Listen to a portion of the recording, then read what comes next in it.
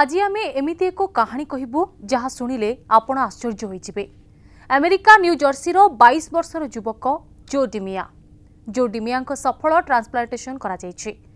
ଦୁନିଆର ପ୍ରଥମ ସର୍ଜରୀ ଏହା ଜଣେ ବିକୃତ ଚେହେରାକୁ ସଜାଡ଼ି ପାରିଛି ଦୁଇହଜାର ଅଠର ମସିହାରେ ଏକ କାର୍ ଦୁର୍ଘଟଣାରେ ଜୋଙ୍କ ଶରୀରର ଅଶୀ ପ୍ରତିଶତ ଜଳିଯାଇଥିଲା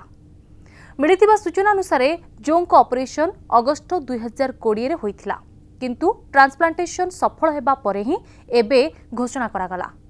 যদি আপনার জোঙ্ক আক্সিডেট পূর্বর ফটো দেখবে তাহলে বর্তমানর ফটো দেখা পরে হুয়েত বিশ্বাস করে পারে বাইশ বর্ষর জো তিমিয়া দেখা বহুত সুন্দর কিন্তু এই দুর্ঘটনা পুরা তাঁর জীবন সহিত চেহারা পরিবর্তন করে দিয়েছে জোঙ্ক পূর্বর চিত্র আউ এবের পুরা ভিন্ন রয়েছে পুরা ঘটনা কিছু এইভাবে রয়েছে ଦୁର୍ଘଟଣା ଦିନ ଜୋ ନାଇଟ୍ ସିଫ୍ଟରେ କାମ କରୁଥିଲେ କାମ ସରିବା ପରେ ଜୋ ଅଫିସରୁ ବାହାରି ପଡ଼ିଥିଲେ ଏବଂ ବାଟରେ କାର୍ ଦୁର୍ଘଟଣାଗ୍ରସ୍ତ ହୋଇ ଗାଡ଼ିରେ ନିଆଁ ଲାଗିଯାଇଥିଲା ତେବେ ଏହା ଏକ ବଡ଼ ଧରଣର ଆକ୍ସିଡେଣ୍ଟ ଥିବାବେଳେ ଜୋଙ୍କୁ ଛାଡ଼ି ବାକି ଲୋକଙ୍କ ମୃତ୍ୟୁ ହୋଇଥିଲା ଭାଗ୍ୟବଶତଃ ଜୋ ବଞ୍ଚିଯାଇଥିଲେ କିନ୍ତୁ ଦୁଇ ମାସ ଧରି କୋମାରେ ଥିଲେ କେବଳ ଏତିକି ନୁହେଁ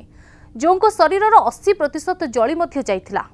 ଏହାପରେ ଯେଉଁଙ୍କର ହୋସ୍ ଯେବେ ଆସିଥିଲା ସେବେ ଟ୍ରାନ୍ସପ୍ଲାଣ୍ଟ ପାଇଁ ପ୍ରସ୍ତୁତ କରିବାକୁ କୋଡ଼ିଏରୁ ଅଧିକ ସର୍ଜରୀ କରାଗଲା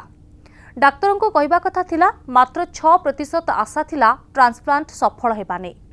ଦୁଇହଜାର କୋଡ଼ିଏ ମସିହା ଅଗଷ୍ଟ ନଅ ତାରିଖରୁ ଅପରେସନ୍ ଆରମ୍ଭ ହୋଇଥିଲା ଏହି ବଡ଼ ସର୍ଜରୀରେ ଷୋହଳ ଜଣ ସର୍ଜନ ଏବଂ ଅଶୀ ଜଣ ସ୍ୱାସ୍ଥ୍ୟକର୍ମୀ ସାମିଲ ଥିଲେ ଏହି ଅପରେସନ୍ ପାଇଁ ପାଖାପାଖି ତେଇଶ ଘଣ୍ଟା ସମୟ ଲାଗିଥିଲା ଏହାର ଛଅ ମାସ ପରେ ଡାକ୍ତର ଓ ଜୋ ଏ ସମ୍ପର୍କରେ ମୁହଁ ଖୋଲିଲେ